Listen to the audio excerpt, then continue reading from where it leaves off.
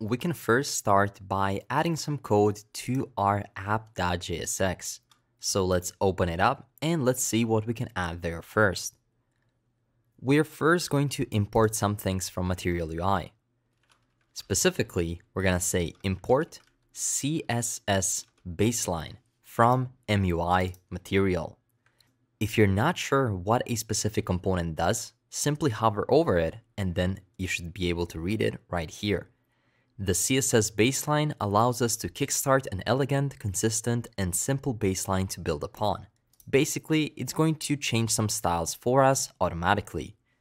And from now on, whenever we are working with some Material UI components, I'll always try to go to their website and explain everything from start to finish. Why are we using this component? How can we use it? And how can we modify it for further use? With that said, we're going to also need a few things from React Router DOM. Those things are going to be route and also a switch. That's coming from react-router-dom. If I'm not mistaken, I forgot to install React Router DOM before, and that's completely fine. So what you can do is simply open up the terminal and run npm install react-router-dom. For people that copy the install script, it should already be installed there. So let's wait just a moment and React Router DOM will be installed in our project. And there we go.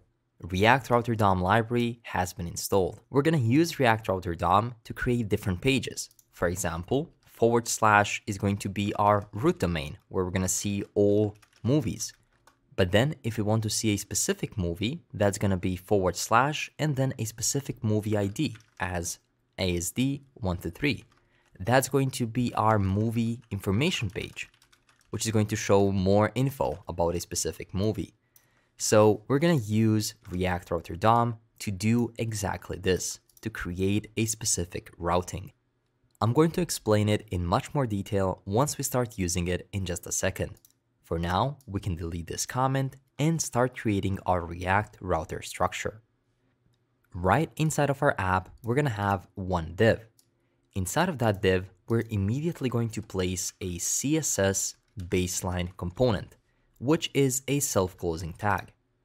Now let's save it and let's immediately see if our app changed.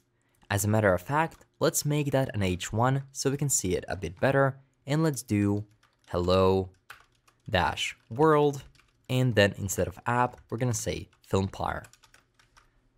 Let's go ahead and save it, open up our terminal, and run npm start to start up the application on localhost 3000. And as soon as we fire up our application, we're gonna get a failed to compile error. And this is the one that I left here intentionally. It says module not found, can't resolve, add emotion react. What is that? We're not sure at the moment, right? In C users, and then you can see it says node modules MUI. Now let's read this error together and let's try to figure out what's happening here. Well, what I would do first is I would simply copy this entire line and try Googling it. Okay, let's go ahead and click the first result. And if we scroll down, the first answer says I had a similar issue and simply install Emotion React. But he's not really mentioning why should we install it. So let's go one page back and let's try to give it some more info. You can see that this is related to Material UI somehow, more specifically to the styled engine. So I'm simply going to say module not found, can't resolve emotion in React, and then we're going to say Material UI. Now the same issue still shows up as first, but let's try to open a few other issues by holding control and then simply clicking them. This is really useful because you can immediately open a few pages and see if you find something useful. So let's scroll down and see if we have something useful here. Again, another person keeps mentioning to simply install Emotion Style and Emotion React, but that doesn't really explain why.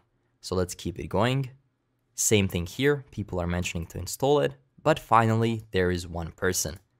As per the docs, you need to install these dependencies. It's even listed in the package.json as peer dep. It even says when you run yarn or npm that your peer dependency is missing. And then he goes on to say that this issue has been searched multiple times. But I think that he basically explained it. These are the peer dependencies to Material UI. And the reason why I left these errors is to show you that if someone on YouTube or on other courses simply tells you to install something, you can still have different errors. That's why you need to be able to find out yourself what the problem is. And in this case, you can keep searching through hundreds of different pages and you're simply going to waste your time. The actual solution was to go to the Material UI website.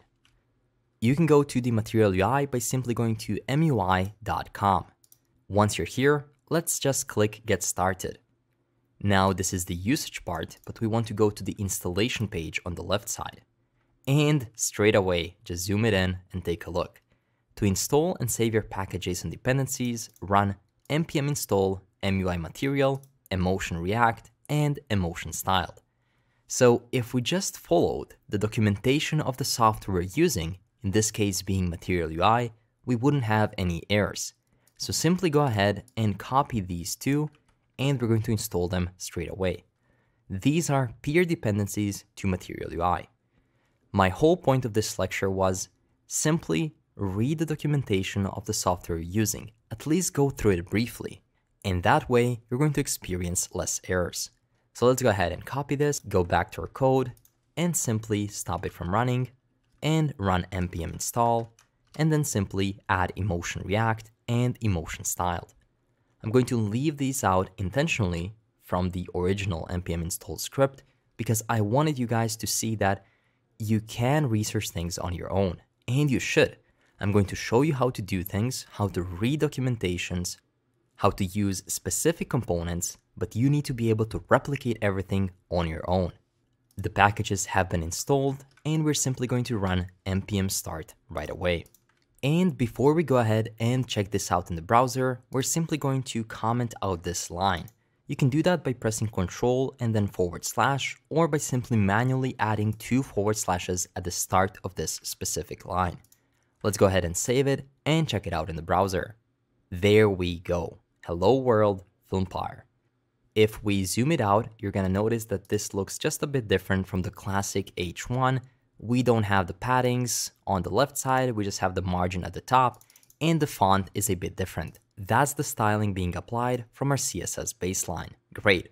With that said, we were supposed to write a lot of code, but I wanted to use this introductory lesson to tell you that you should always read just a bit of documentation before you start, and also you need to be able to search for errors yourself. That's exactly what I'll try to teach you throughout this course. I'll try to go through every single problem with you and teach you how you can research. That way, you're going to get better fixing the errors that we encounter together, but also fixing every single error that happens in your entire coding journey. Let's go ahead and in the next lesson, we're going to add so much more code and hopefully we won't have any more errors. So take a bit of a break, this was a good one, and I'll see you in the next lecture.